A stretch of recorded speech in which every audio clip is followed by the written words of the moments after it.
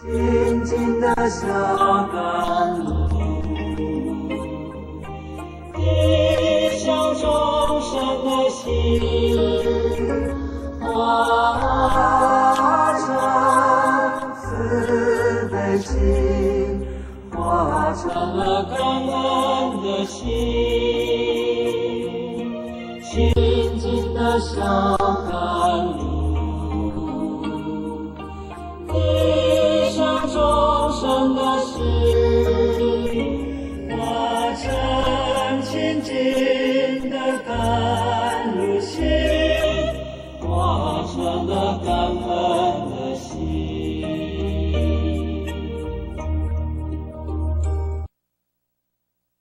各位菩萨，各位大德，各位同修，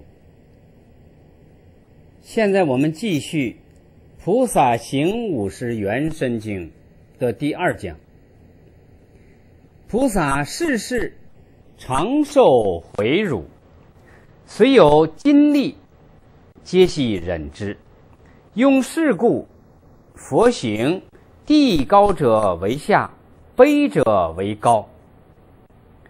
菩萨世世见人穷恶，己足与之；见人破坏，安隐，令在职。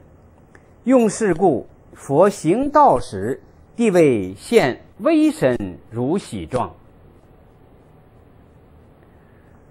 佛经过三大阿僧劫七劫的修行。然后再加上百劫修相好，才能成佛。那菩萨在生生世世的修行当中，并不是像我们一般人想象的，总是得到人的尊重、赞叹。我们看到，释迦牟尼佛成佛以后讲经说法，仍然有人。去回辱佛，比如有一些外道，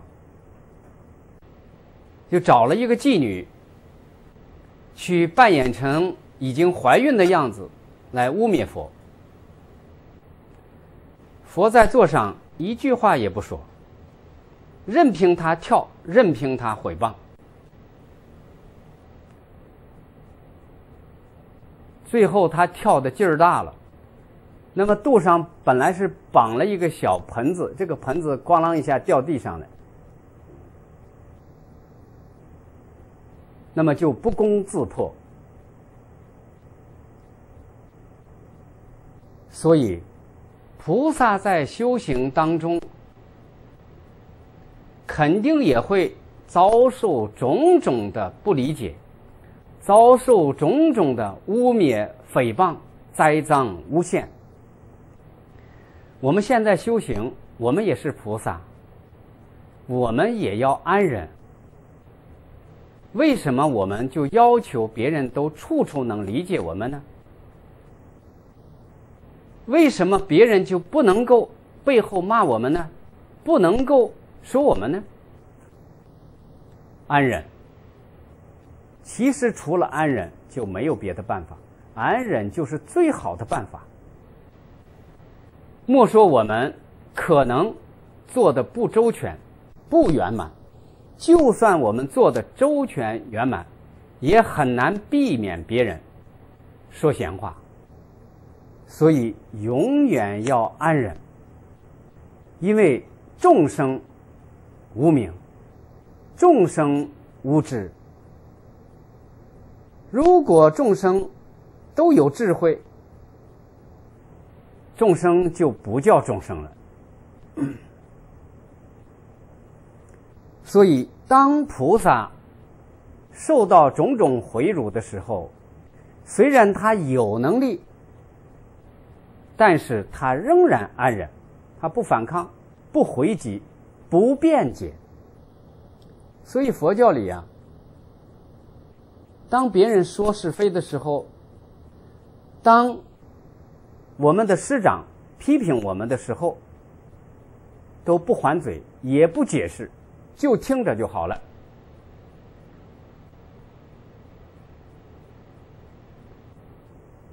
事情总有大白的一天啊，就等待那个姻缘，啊，不大白就那么忍着就好了啊。你继续修行，没有障碍。菩萨由于这样，所以成佛以后，佛走的路呢，不论原来的路是不是高低平整，佛在走的时候就都变成平地了。高的就会变低，低的就会变高，全部变成平地了。由于菩萨在修行中见到贫穷的人、有困难的人，都进行支援。帮助、供养、布施。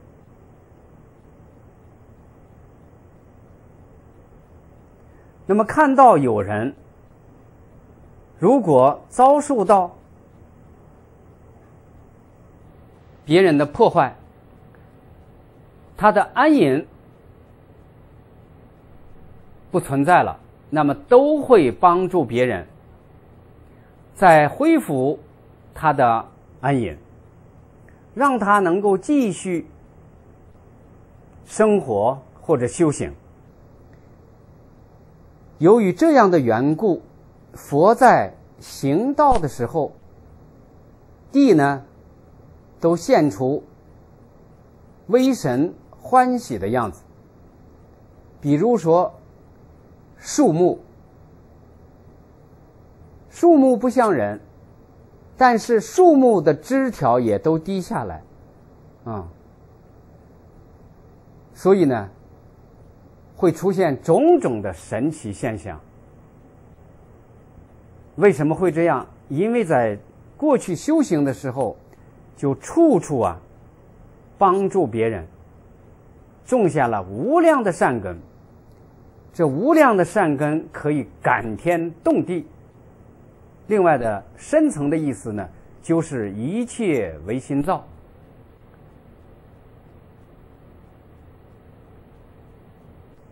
如果心能转悟，即是如来。所以成佛以后呢，佛实际上可以变化任何的物质现象。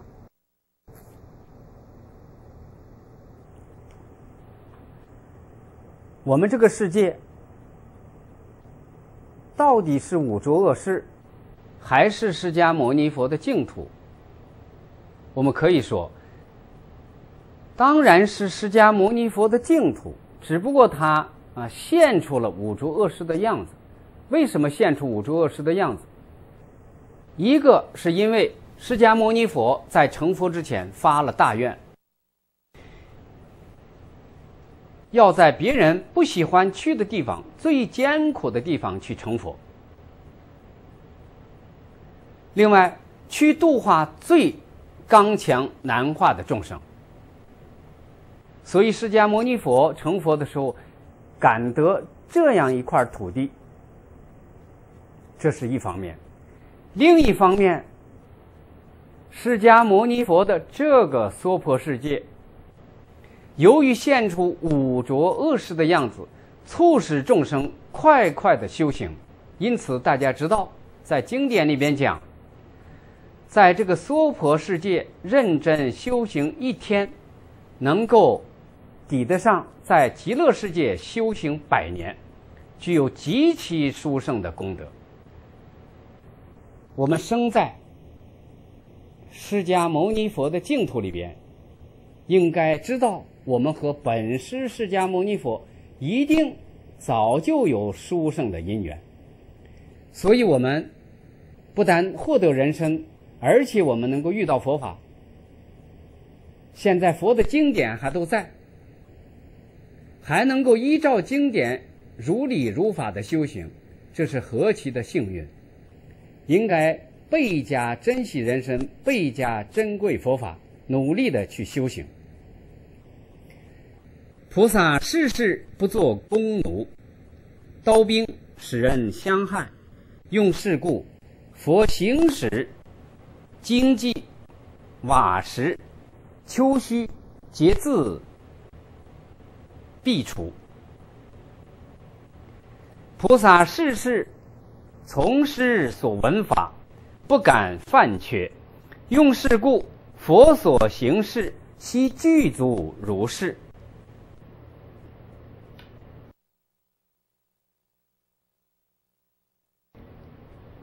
菩萨生生世世啊，不造作杀人、杀众生的任何武器，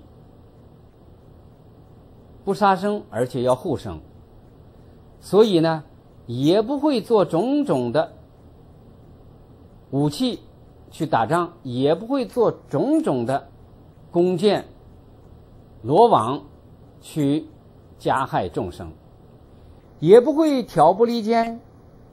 使不同的众生、不同的种族、不同的地区的人啊去打仗。由于这个原因，佛走的地方，那么凡是原来有荆棘啊，荆荆棘啊，就是这个树上啊长了很多尖刺，好比玫瑰，玫瑰是玫瑰树上就有有刺。啊，蔷薇也有刺，还有其他不少的，啊，都有刺。你走过去，这个衣服被它挂住了，就勾坏了。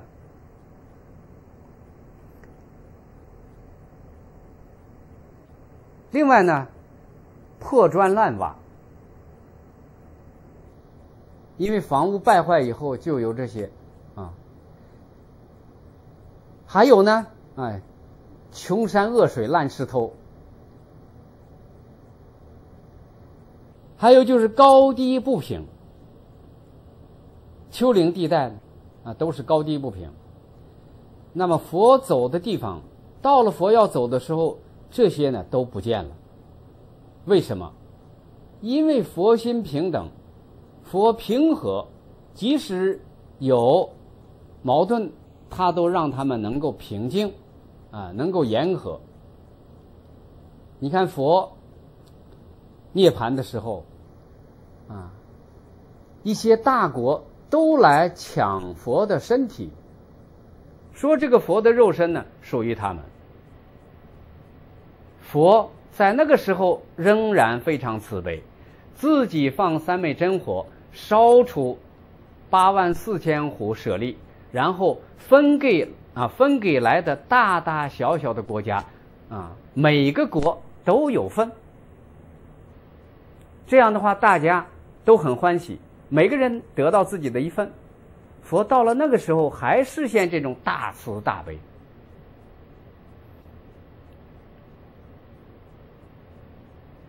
菩萨在成佛之前，生生世世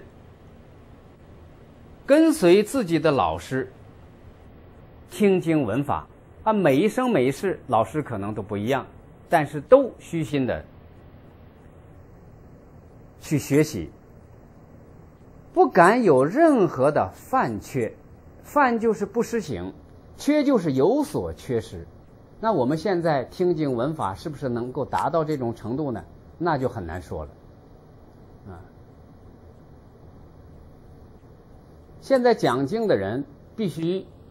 用种种的方法来吸引众生，吸引众生以后呢，众生啊想听就听听，不听就算了，啊听过也不实行，听过很久就忘了，啊，我给大家说一句老实话，学习佛法要按照次第严格的学，每天都要学。你如果有两个礼拜啊，甚至只有一个礼拜你不参加学习。下个星期你听起来就感觉到很生疏了，啊，哦，我们组织共修小组的时候，经常有这种现象，一个星期不来，第二个星期不来，第三个星期来了听不懂，不知道在讲什么了，因为人家不会等你一步一步的继续讲，虽然讲的很慢，但是呢，每次都有新的内容，你要不来怎么听得懂？所以就必须赶快去补课，不补课就听不懂了。而且呢，听经闻法以后必须要实践，啊，必须要落实，不落实仍然听不懂，因为有些东西完全是体验上的事情，你不去努力的实践，人家讲，你虽然天天每次都来，你还是听不懂。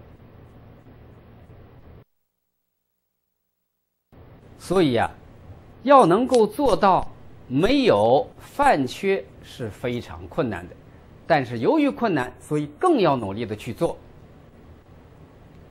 应该把佛法当做自己的生命，因为佛法真正的就是帮助我们解脱，能够引导我们成佛的无上妙法。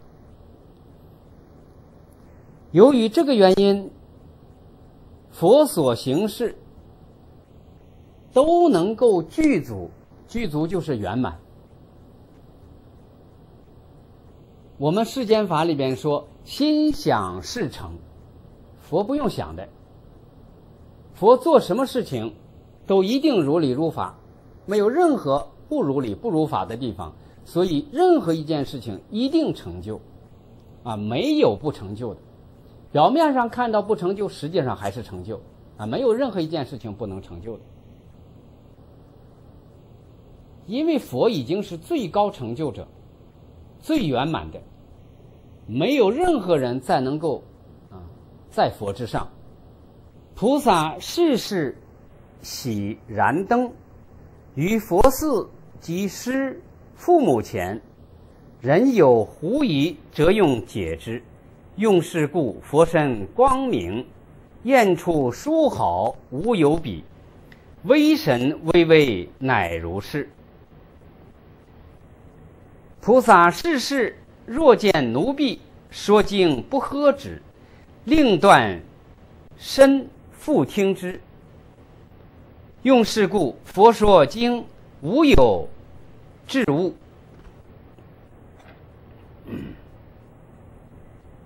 菩萨生生世世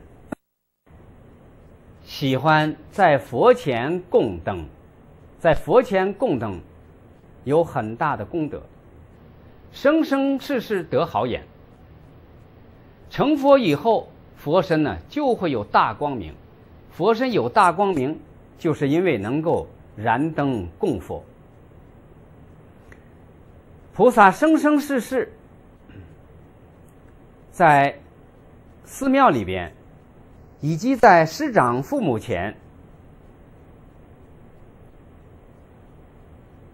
也都能够给佛寺增加光明。给父母师长增加光明。过去啊，不像现在有电灯，那光明呢都要靠点灯，尤其在夜晚的时候，那点种种的灯。那么种种的灯不但看起来漂亮，而且光明炽然，大家都看了欢喜。现在我们在佛前燃灯的时候，大家看着也高兴，因为众生欢喜，佛就欢喜。那么在寺庙里边点，在师长面前点，当然师长父母也欢喜。如果碰到人有什么疑问，都来替他们解释、解答疑难。由于这个缘故呢，佛身光明无量，放出大光明，佛光普照，无有伦比。光中又能够现出种种的殊胜境界，所以微身微微。菩萨生生世世，如果见到奴婢下人，都为他们随缘讲经说法。比如说，啊，你为什么这一世是伺候人的？你不是主人，是仆人。做奴婢、做丫鬟，是因为你过去啊不肯布施啊，或者呢借别人的钱不肯还呢，所以这一世呢做下人，替人家劳作来还账，而且你很有可能以前呢偷盗，所以呢掉到地狱恶鬼里边，从畜生里边又出来，仍然是卑贱，所以今后呢要努力的。去行布施修行，啊，就跟他讲这些道理，啊，但是不呵斥他呀，啊，是帮助他。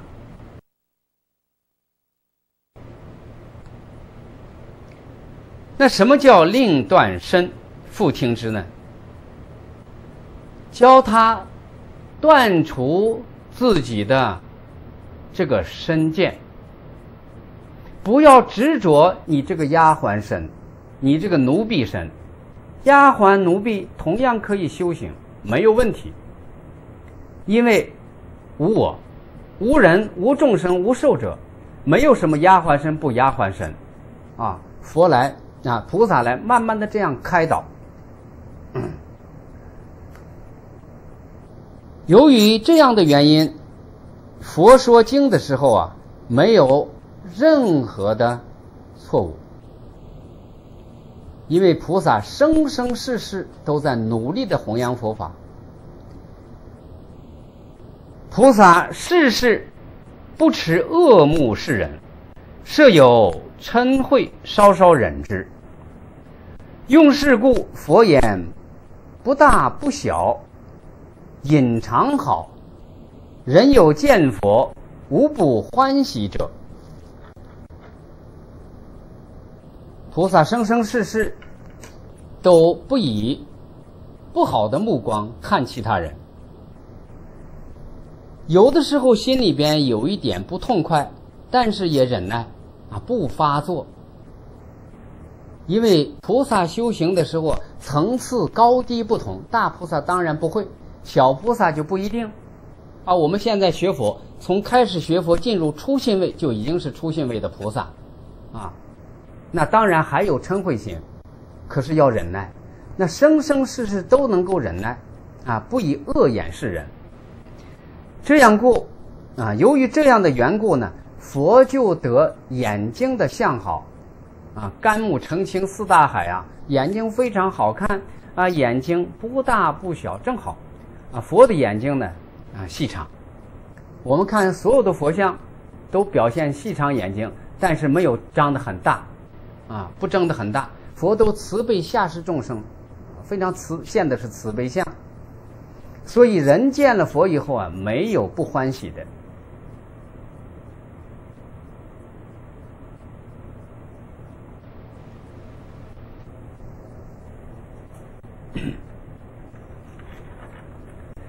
菩萨事事见他人端正妇女，不持淫逸相之，用事故，佛身颜色殊好无比，人有见者莫不欢喜。